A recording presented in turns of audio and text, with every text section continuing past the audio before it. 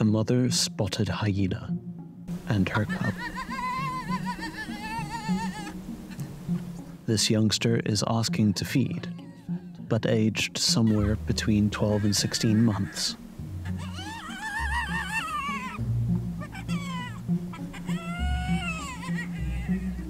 It is slowly being weaned off of their mother's milk.